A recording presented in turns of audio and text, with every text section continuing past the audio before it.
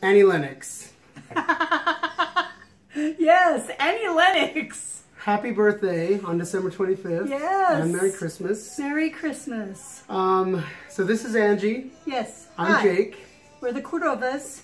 We love you, by We the way. do. We're huge fans. We are.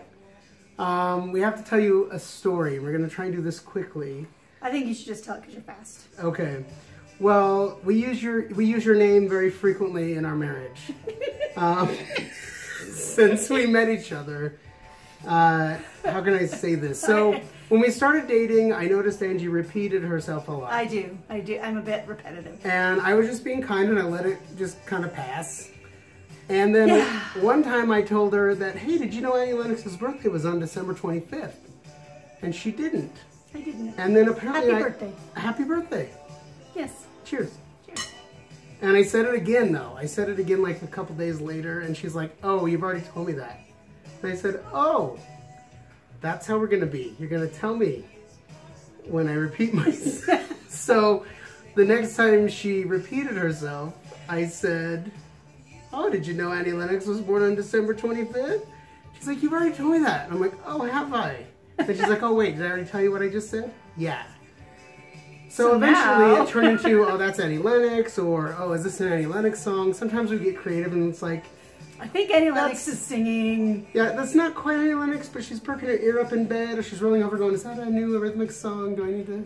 Yeah. Or, um, we, we, you've even become a verb to sometimes. and sometimes she just wants to repeat herself, and I'm okay to listen because I really love my wife. It's been it's been four and a half years, and I- Yes. we're ridiculously in love. It But is ridiculous. You are part of our marriage because Yes. now it's My mom has even said, and my best friend has now started yeah. to use your We all use name. oh that's Annie Lennox. We've heard that before.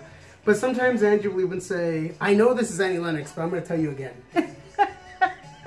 and we've been saying for years that we should tell Annie Lennox this. Yes. So we're a little shy. We're, I mean, I'm not really shy, but it's a little embarrassing to post this on your Facebook page. So I hope you one of your assistants sees it or you see it, and maybe it gives you a little happiness for the holidays. But we talk about you a lot in a non-musical.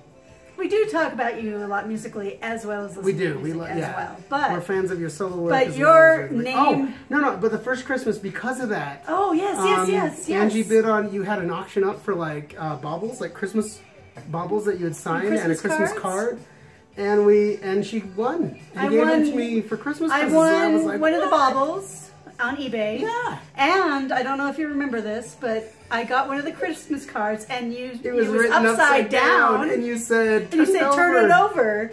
So we have this awesomely Yes. human, slightly imperfect Christmas card It was from you. awesome. And we, We, we love have it. We have it secured because we want to. We We're gonna frame, frame it. it, We don't want stuff. We to haven't show quite you even figured now. out what we're doing. We got to take care of it. But anyway, thank you for being in our lives. Yes. Thank you for enhancing our relationship and our marriage.